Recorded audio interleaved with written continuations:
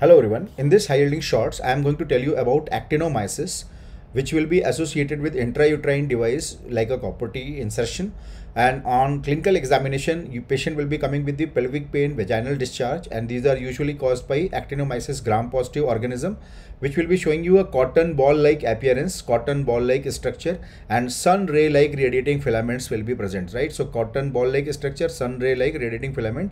You can see here also basophilic mass is there and sun ray-like radiating filaments, and they are surrounded by the inflammatory cells. On further examination, you may find that these sun ray like radiating filaments, actually these are these are the peripheral pink rim consisting of immunoglobulin and cell debris. So this immunoglobulin cell debris containing peripheral ring, uh, ring is called as Splendore-Hoeppli phenomena right? And this is the area which is showing you large colonies of the actinomyces which will be seen as a sulfur granule or yellow granule on clinical or on gross examination.